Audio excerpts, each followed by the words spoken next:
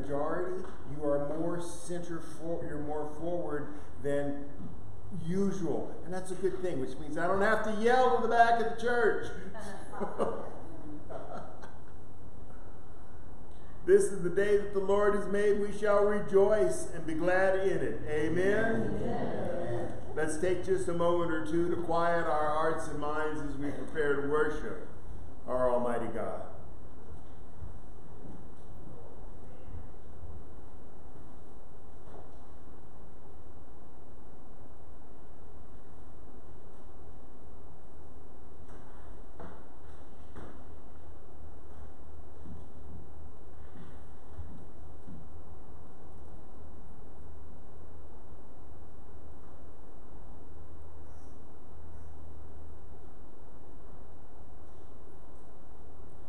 Amen.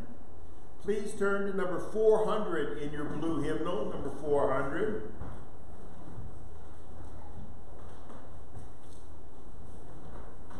And as we are instructed, let us stand and all creatures of our God and King lift our voices and let us sing praises to our Almighty God. Can I get an amen? Amen. We're going to do verses 1, 2, 3, and 7.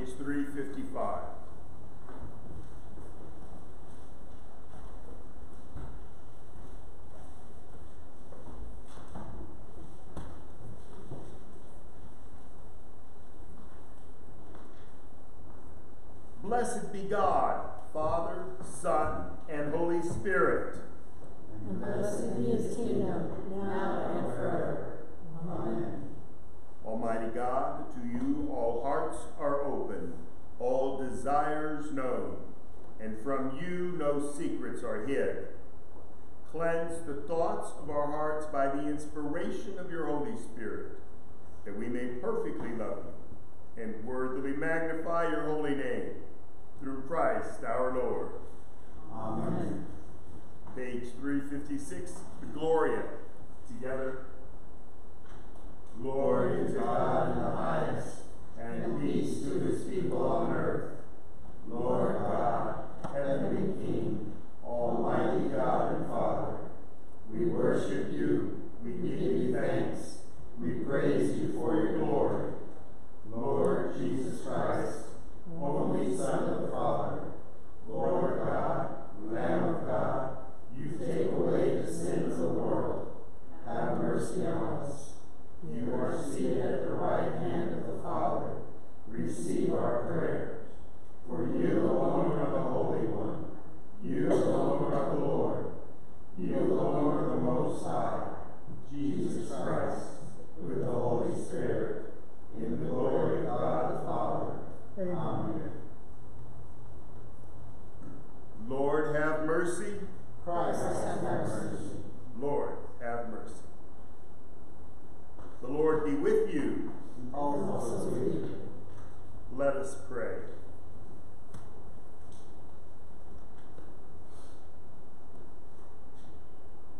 Grant us, Lord, not to be anxious about earthly things, but to love things heavenly. And even now, while we are placed among things that are passing away, to hold fast to those that shall endure. Through Jesus Christ our Lord, who lives and reigns with you and the Holy Spirit, one God, forever and ever. Amen. Amen. Please be seated and attentive to the reading of God's Word.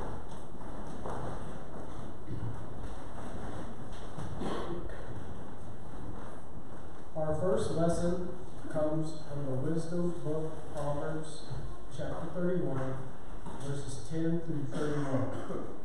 The reading can be found in our online bulletin through personal Bibles and on page 535 of the Pew Bible.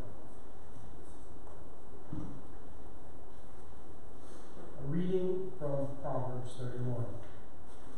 A capable wife who can fight. She is far more precious than jewels. The heart of her husband trusts in her, and he will have no lack of gain. She does him good and not harm all the days of her life. She seeks wool and flax and works with willing hands. She is like the ships of the merchant. She brings her food from far away. She rises while it is still night and provides food for her household and tasks for her servants. She considers a field and buys it. With the fruit of her hands, she plants a vineyard.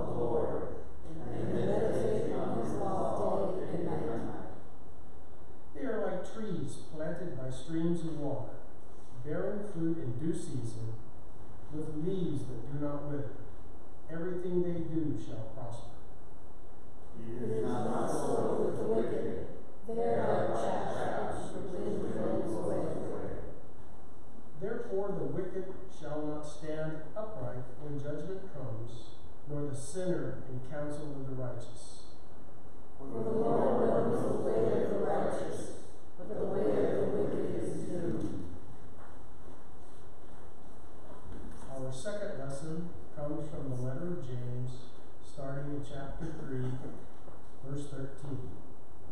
The reading can be found in our online bulletin, your personal Bibles, and on page 982 of your Pew Bible. A reading from James. Who is wise and understanding among you? Show by your good life that your works are done with gentleness and wisdom. But if you have bitter envy and selfish, selfish ambition in your hearts, do not be boastful and false to the truth. Such wisdom does not come down from above, but is earthly, unspiritual, devilish. For where there is envy and selfish ambition, there will also be disorder and wickedness of every kind.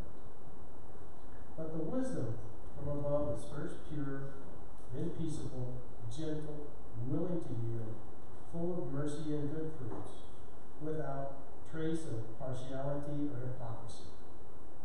And the harvest of righteousness is sown in peace for those who make peace. Those conflicts and disputes among you, where do they come from? Do they not come from your cravings that, uh, that are at war within you? You want something and do not have it, so you commit murder. And you covet something and cannot, cannot obtain it, so you exchange in disputes and conflicts. You do not have because you do not ask. You ask and do not receive because you ask wrongly, in order to spend what you get by your pleasures. Submit yourselves, therefore, to God. Resist the devil, and he will flee from you. Draw near to God, and he will draw near to you. The word of the Lord. God.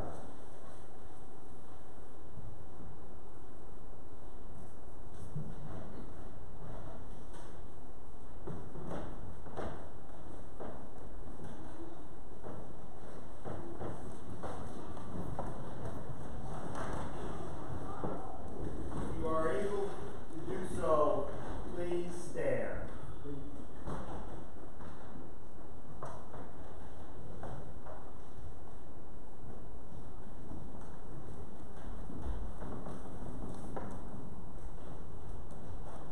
The Holy Gospel of our Lord Jesus Christ according to Mark. Glory to you, Lord Christ. Jesus and his disciples passed through Galilee. He did not want anyone to know it, for he was teaching his disciples, saying to them, The Son of Man is to be betrayed into human hands, and they will kill him. And three days after being killed, he will rise again. But they did not understand what he was saying and were afraid to ask him. Then they came to Capernaum. And when he was in the house, he asked them, What are you arguing on the way? They were silent, for on the way they had argued with one another who was the greatest. He sat down, called the twelve, and said to them, Whoever wants to be first must be last of all and servant of all. Then he took a little child and put it among them. And taking it in his arms, he said to them, Whoever welcomes one such child in my name welcomes me. And whoever welcomes me welcomes not me, but the one who sent me. The Gospel of the Lord. Praise, Praise to you, Lord Christ.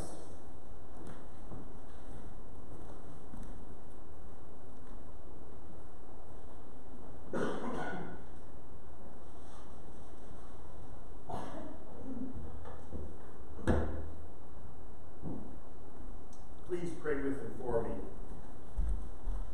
May the words of my mouth and meditation of all our hearts be acceptable to you, our Savior and Redeemer. Lord God, may only your words be spoken and your words heard. And we ask this in the name of the Father, the Son, and the Holy Spirit. Amen. Please be seated. And can I get the young ones to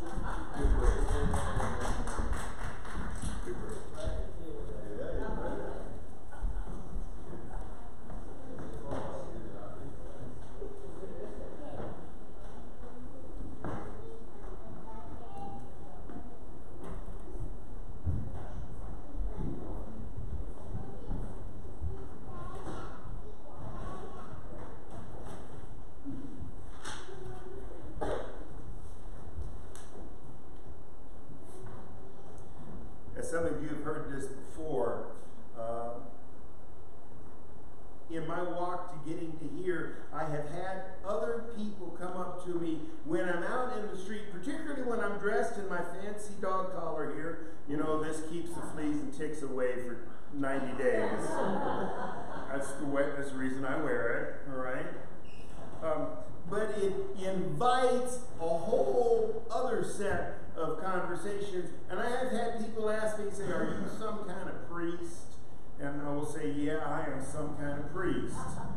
And they will say, Can I ask you a question? And I will say, Of course you can ask me a question. Having no idea what has gone on in their life or what their question has been, they will ask me all number of really basically simple questions. What about forgiveness? What about this action, that action? What about, you know, this going on in the world? And what do I think about this, that, and the other? And I will you know me, I can talk to a doorpost. I will, I will answer any question that I can. And the reason that I will do that is because after answering the question, they will say, Well, thank you, I appreciate that because I was at this church and I tried to ask the minister this question. And the minister said, I don't have time for the question. All you have to do is pray about it. Just read your Bible and blow them off. And, and, it doesn't make any sense to me. It's almost as if the priest and the minister was in the position of the disciples as they are walking with Jesus after having left Galilee. In our gospel reading today, it comes right after some really important stuff that has happened in the life of Jesus. They have already come down from the Mount of Transfiguration where uh, Peter, James, and John were up there and they saw Jesus transformed into all white and they heard the voices and Jesus tells them, don't tell anybody. And they're going, but we've got to tell anybody. And he says, no, don't tell anybody. This is after Peter has confirmed that he is the Christ. So these are two very positive things. And it's also after Peter has tried to rebuke Jesus when he explained to him what's about to happen in his life. Jesus tells him, Well, in a bit, uh, I'm, I'm going to be turned over to men, I'm going to be tortured, I'm going to be killed, and then after three days, I'm going to rise again.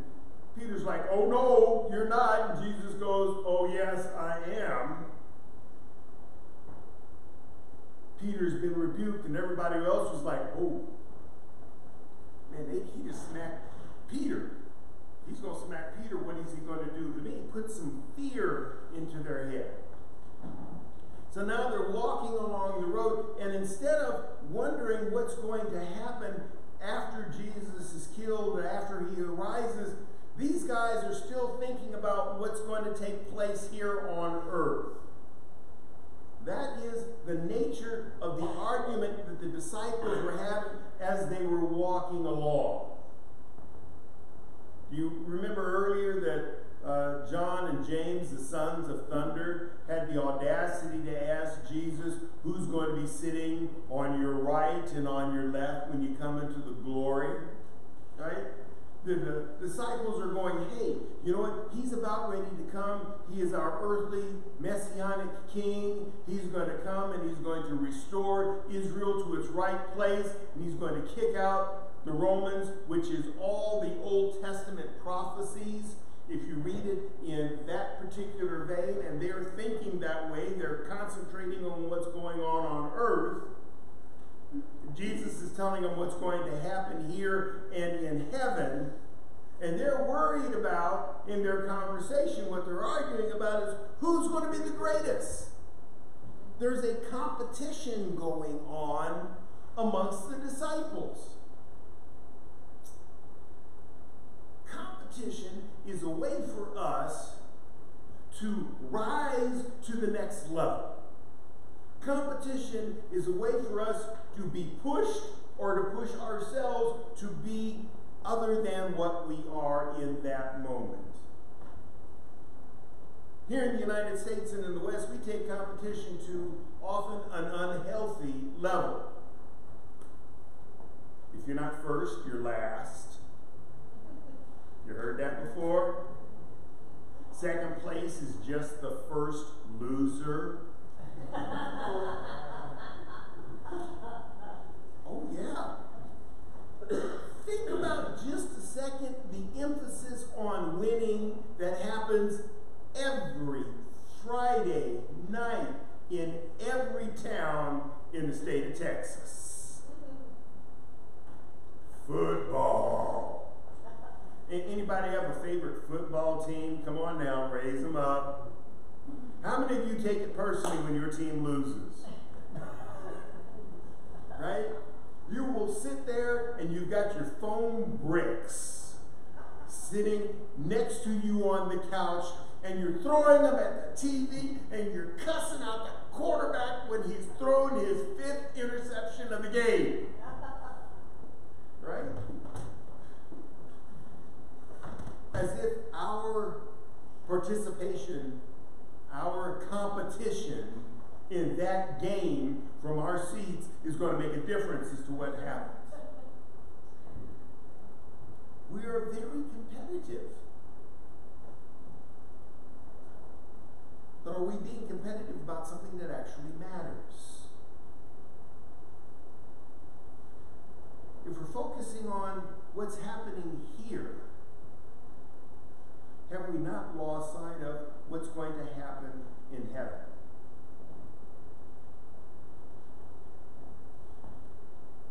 Jesus asks the disciples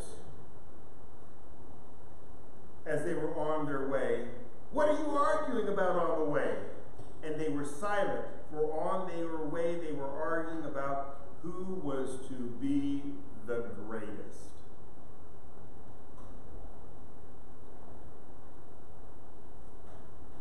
Being a little fly on the back of one of the animals that they're walking with, I can just hear this conversation. For once, Peter is not saying a word because he's already been rebuked by Jesus, so he's probably feeling a little hurt. He's just going to stand back there and let the rest of these guys duke it out. Where we're the sons of thunder, we're John and James.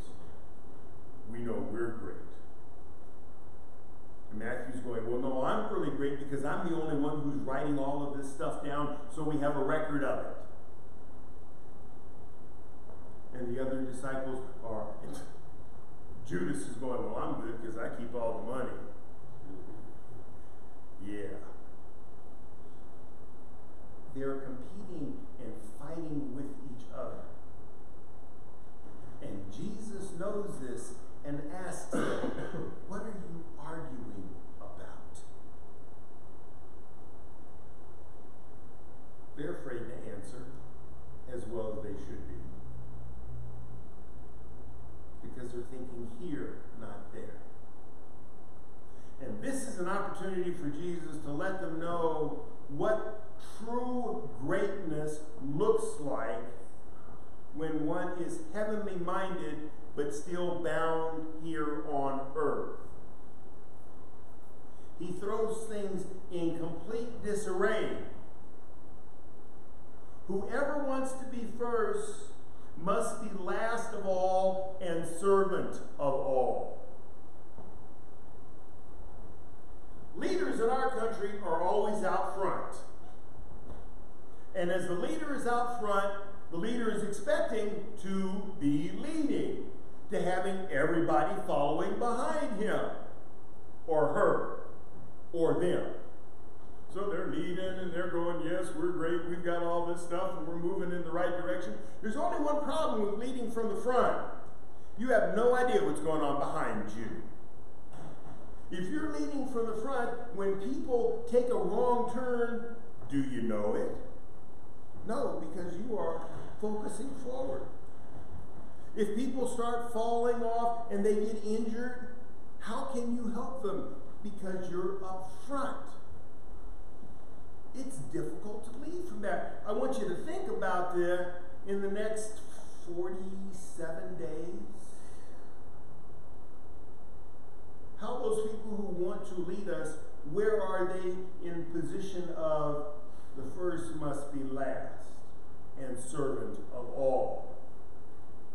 The best way to lead people is to shepherd them and to make sure that they are out in front of you so that you can guide them and keep them along the path that they're supposed to walk. For the last couple of years, when we've gone up Mount Rey, it has always been my plan and my position to be at the very end of the pack. I learned this in when I was working with the youth up at Camp Stoney we would take the middle schoolers and the high schoolers on a camp out overnight. And we always had a trail, and everybody knew the trail, but I was always the very last person in line. And the reason that I was always the last person in line is that if you were slower than me, you really had a problem. All right? I'm carrying an industrial strength pack, and I am not moving fast at all. But if I am passing up a middle schooler or high schooler, then there is something going wrong. And I need to make sure that I can help everybody get to where we need to go pretty much at the same time. Now, there's, of course, the guys out in the front, the really athletic ones, who are running down the trail with their 45 pound pack. And it's like, all right, just stay on the trail. If you get lost, stay put, blow your whistle, and we'll pick you up when we get there. But I'm always in the back because there's always one or two kids who've overpacked. Right? They were supposed to have three sweatshirts, they packed 10. Right? They were supposed to have three bottles of water, they had a gallon and a half. And they couldn't carry it all. So I would come up behind them and I would help take off their load. And I would put it on myself, like I was so that strong. But they would help me because I was last and I could walk at that pace to help them. And as such, I led from the back. Now, when I was doing it, I was not thinking of this passage. I was just thinking about if I lose any one of these kids, I'm never going to hear the end of it. but it makes sense. The only way that you can truly lead is from the back. So that we all end up going the same place and getting there sometime in the same area. Jesus had that perfectly thought out. And I only thought of my participation in this leadership role last night when I was giving this sermon.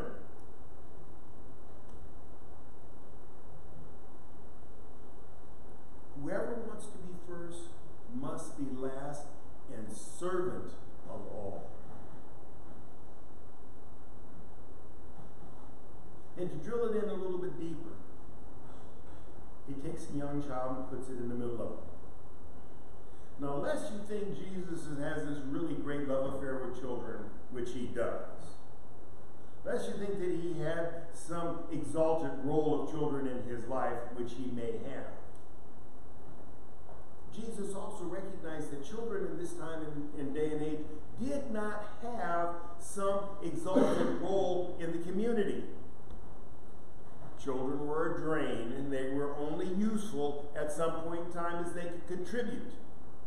But what children are, by and large, are honest.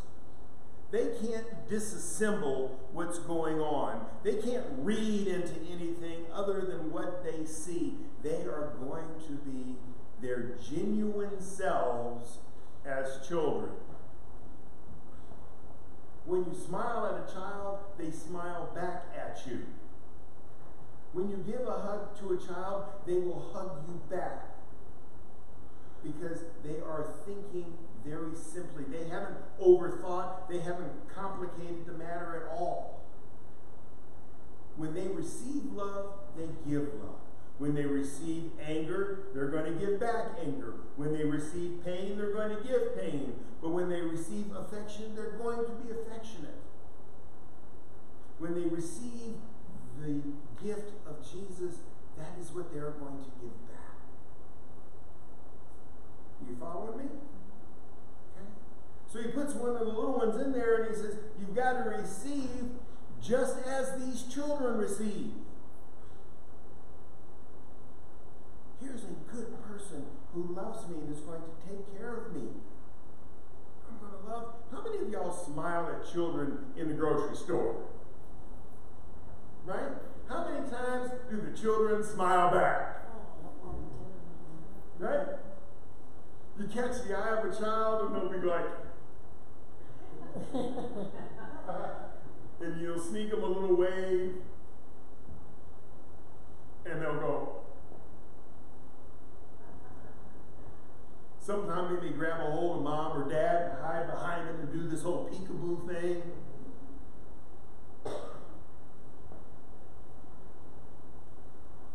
We need to receive Jesus like that.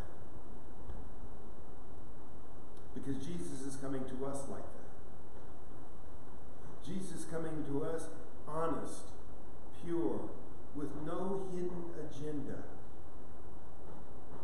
with love and forgiveness and grace. We receive it, we can give it back.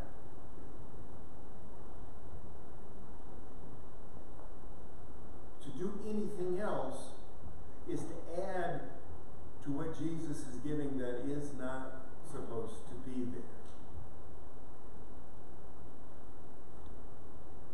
And when we do it, we might be trying to compete for Jesus' affection. We might be trying to be in competition for what Jesus is going to offer us. But Jesus is going to give us each everything that we need. We don't need to be in competition with anything or anybody else. We just need to love and receive His grace and then give it back.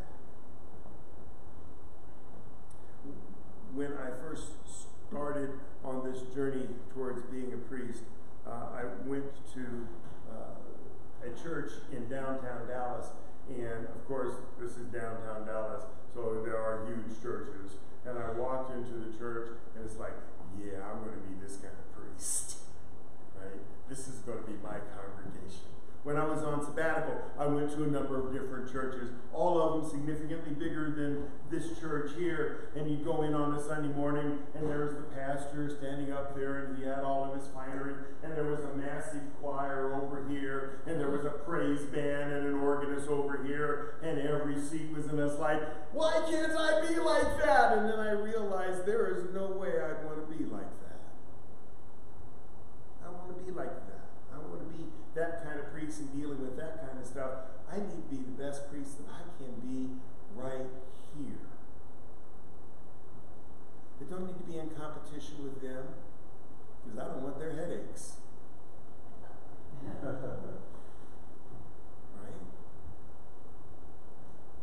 I don't want their responsibility. When I'm in competition somebody else, I will always lose. When we compare ourselves to other people, we will always lose, come up on the short end of the stick. So the only person I'm going to be in competition with is me, for me to be a better me with God's help today than I was yesterday. It's hard to lose competition with yourself, but I have.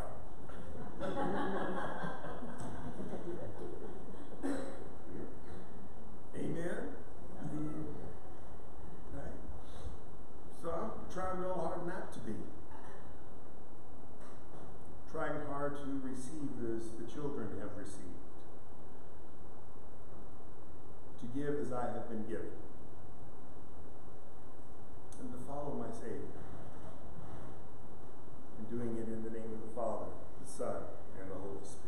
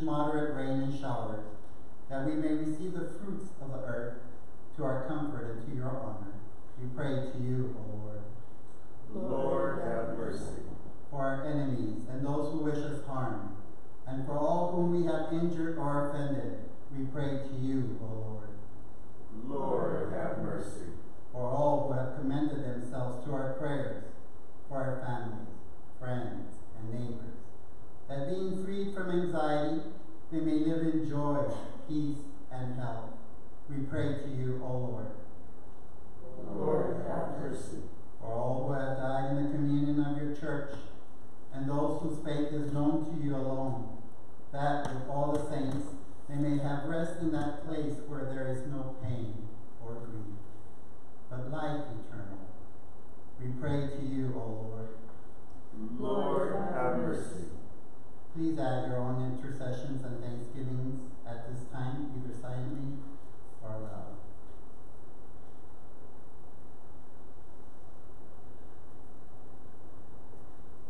We pray for those who are dealing with the effects of Alzheimer's and dementia.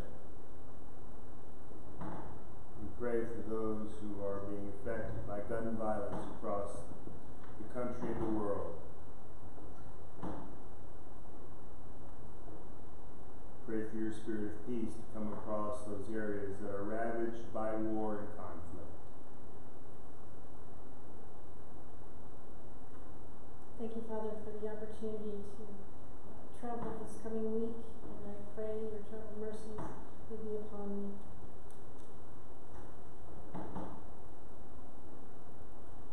We pray for all drivers on our streets that they may not get distracted, take their time, and reach their destination safely.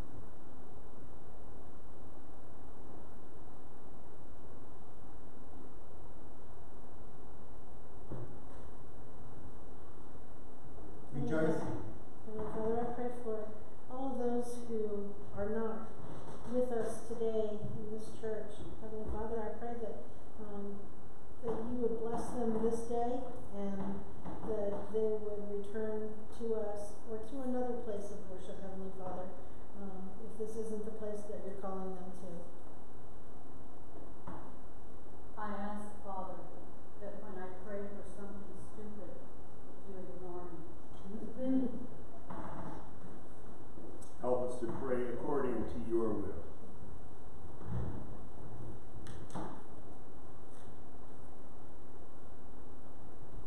Thank you, Father, for this congregation. Rejoicing in the fellowship of St. Luke and all the saints, let us commend ourselves and one another and all our life to Christ our God. To you, O Lord our God. O Lord our God, accept the fervent prayers of your people. In the multitude of your mercies, look with compassion upon us and all who turn to you for help. For you are gracious, O lover of souls, and to you we give glory, Father, Son, and Holy Spirit, now and forever. Amen. Amen. On page 360, let us confess our sins against God and our neighbor. Let's spend a moment or two and allow the Holy Spirit to bring to mind those things which we need to confess privately before we continue with our public corporate confession.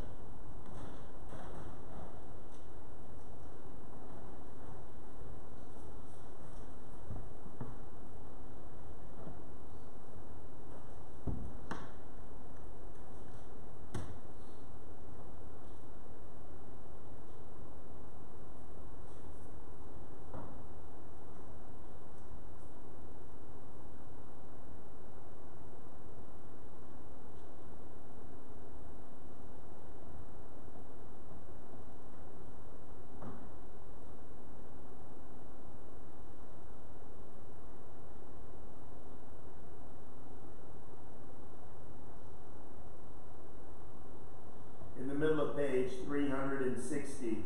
Together, most merciful God, We confess that we have sinned against you in thought,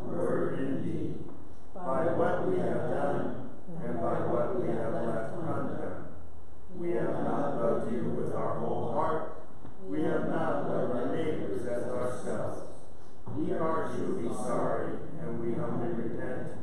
For the sake of your Son, Jesus Christ, have mercy on us and forgive us, that we may delight in your will and walk in your ways to the glory of your name. Amen.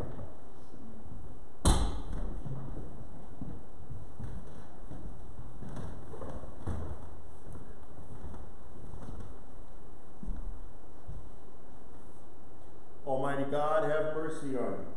Forgive you all your sins through our Lord Jesus Christ. Strengthen you in all goodness, and by the power of the Holy Spirit, keep you in eternal life. Amen. Amen. Please stand. The saints of the church, the peace of the Lord be always with you. And Also with you. Peace with those closest to you.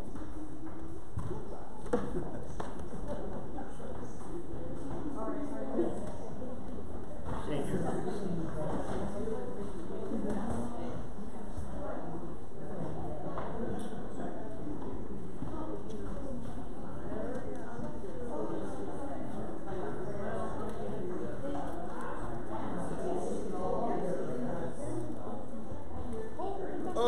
Okay, enough of this, please. Have a seat.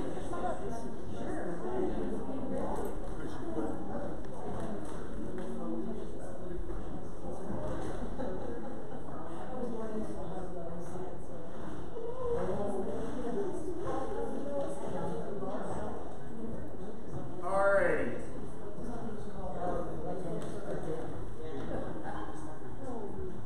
Taking a look at our bulletin, you will see that it is a multifunctional document.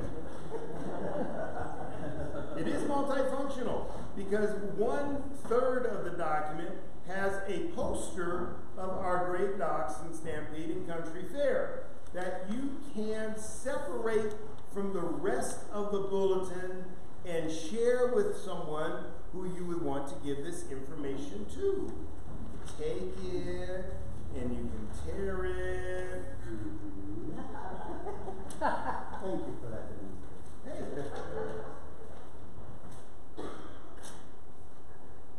Oh, and what's on the back? And on the back of it has all the stuff that we need still for the country fair. So if you're looking at wondering what's going on, what do we need? It's here. Here's the post. Lorenzo, you're so Hey. clever. I That's why you pay me the good bucks. We pay you? Oh, yeah, no, you don't. Um, there's all kinds of other good information. So please read, mark, learn, and inwardly digest this. Take them home with you. That way we know that you know what's going on in the church and you have opportunity to refer back to it or pass it on. Um, a couple of things that have come to mind this week is that we have a number of members of our congregation who are homebound. Uh, we have got a couple in the hospital, and it would be nice if you have been a Euchar- trained in Eucharistic ministry. We've got some kits up here we're going to bless a little bit later on for you to take out to those who have been homebound. But as I'm looking out in the congregation, I think my congregation has changed since I did my last training. So, if you would like to be trained as a Eucharistic minister to share the body and blood in a very simple service, which you can do, being authorized and briefly trained, can do with, for example, um, Martha Lou Broadus. How many of you remember Martha Lou? Martha Lou Broadus is currently hanging out over at the Bartlett uh, Nursing Care Facility. She is uh, dealing with some memory issues and seeing folks other than me might help connect some of those memory synapses back together. I'm sure she would enjoy seeing you. Uh, Hal Peer, who's been a long time member of the congregation, normally comes on Saturdays. Haven't seen him in a little bit because he's got some mobility issues. And Jan Lockhart decided she wanted to enjoy some kidney stones. Yeah, I say that euphemistically, knowing how much they really are nothing to enjoy. But I know that she would appreciate someone bringing her communion as well. So if there's if this is at all interest to you, please see me immediately after church, so we can get these kits to you so that you can take them out into the community. And not only these three, but if there are other members of the congregation you have not seen for a while that you are in contact with, you can take communion to them. Okay? Uh, it's not that big a deal, and you'd be going to a friendly source. These are people you already know. Um, birthdays and anniversaries, come on down. Busted, come on down. Bring them. Bring them. You You want to ask me if you know how long. How long you've been around? Oh, no, it's an My anniversary. anniversary. It's your anniversary. Oh dear. I bet you know this answer. I bet you I don't. You have to. I married you. I know. It was your first year here. How long have you been here? That depends upon who's counting. Some um, people say 40, other people say too long, 12. It's 11 years here. So we got, See? yeah, one year shorter. One year shorter. I've been here. Mm-hmm. Wow, 11 years. Correct. Who are you? You are. I'm Haas. Everybody say hi, Haas. Hi. And who's your bride? Vanessa. Everybody say hi, Vanessa. Uh, it was an appropriate reading this morning too. So It was? yeah, Oh, who? Can, oh, yes. it was, Yeah. it was on time. You think? 31. Proverbs, Proverbs 31. There are no coincidences in God's economy, are there? No. And what do we got going on over here? Another anniversary, another appropriate reading. Wouldn't you say amen? Yes. And she's going, uh huh, I know I am. and who are you? Patricia. Everybody say hi, Patricia. Patricia. And who's this handsome man standing next to you? Ben. That's you.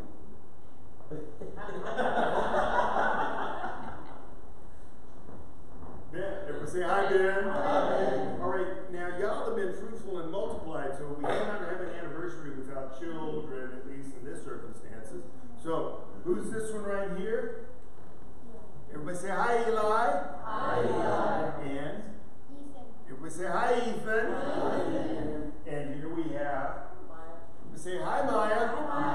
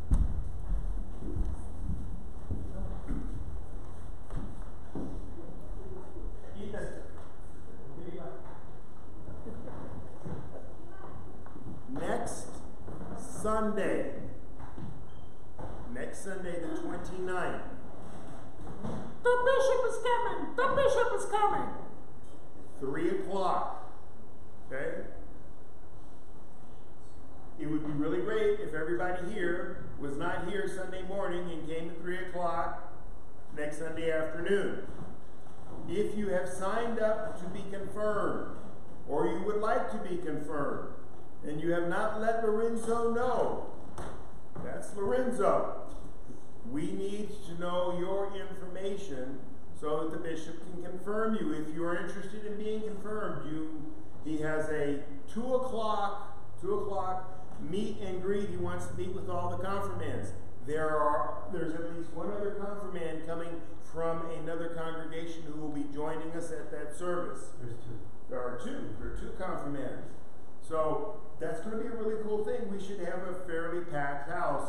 I've asked the Saturday service group to not come on Saturday, to come on Sunday. I'm asking the Sunday morning group to come Sunday afternoon. After the service, we will have a re- uh, reception and kind of a potluckish kind of thing. We'll do something sandwiches, soups, sweet breads, whatever. We will do something afterwards uh, af- uh, in celebration of the confirmation and the bishop's visit. Okay? So, if you cannot make it and you insist on being here on Sunday morning, I will be here as well. No pressure or guilt or shame will be shown upon you if you decide to show up here Sunday morning.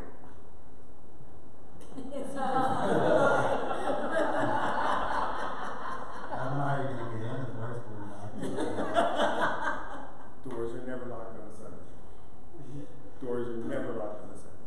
Um, if you've got any questions, see me immediately afterwards. Uh, conform, conformance, uh, Confirm, confirmation. conformance, conformance, sorry. Sure, Deacon. How many do we, I'm still learning. By the way, school is awesome. I'm learning a lot and I can't wait to share with you. Uh, those people that are being confirmed, I need a lot of information from you, which is the date you were baptized and where. Okay? So, So if you have that information, give it to me because the bishop wants me to provide him a list of everybody. Um, let's see. Country fair meeting went really well yesterday, really, really well. I'm happy to announce that most of the items on that list that you see on back of the flyer that Father Daniel showed you have been sponsored.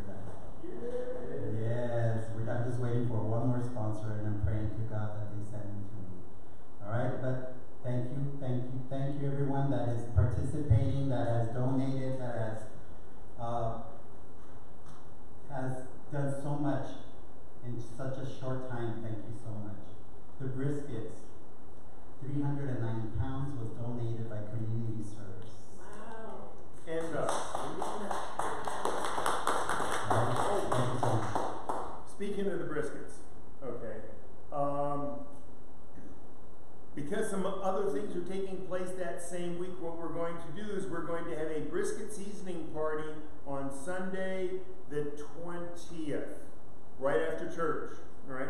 So if you have any interest in how we do the brisket, stick around Sunday afterwards. We're going to be trimming, we're going to be seasoning, and then we're going to be smoking on Thursday before that weekend. So that would be Thursday the 20, 24th. All right? If you're interested, don't need so much help in the smoking part, but I'm going to need a lot of help that evening in the trimming and slicing part.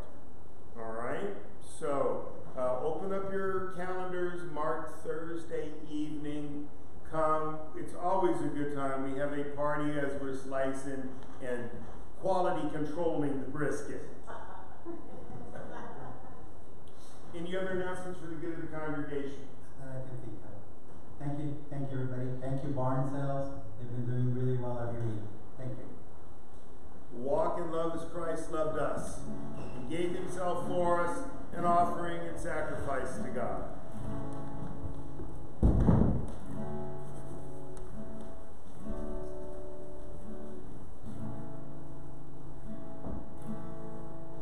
If I rise, let me rise on you, not on all my successes my esteem, my pursuits, if I lose, let me lose my life. Cause if I belong to Jesus, the flesh is crucified.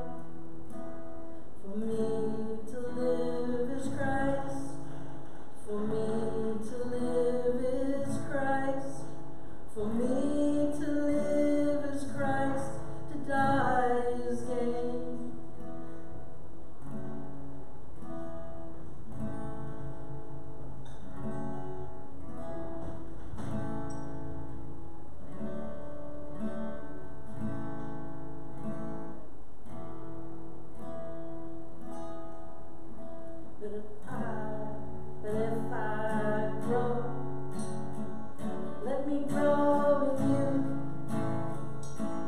Look, the seeds of all I wanted.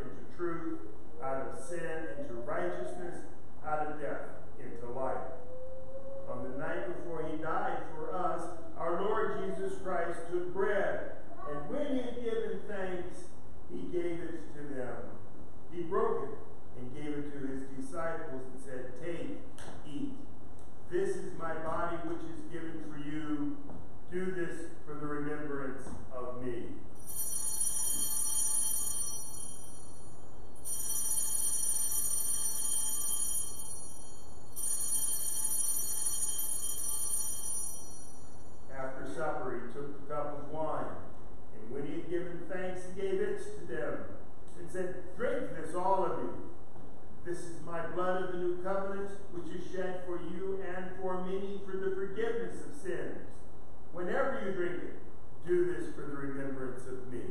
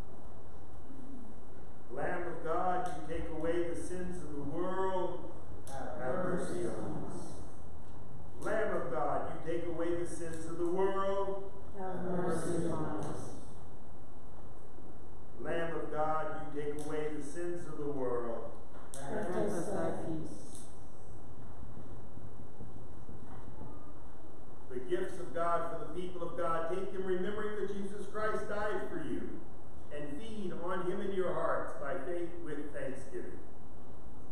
The table of our Lord Jesus Christ has been set. He is our host, we are his guests.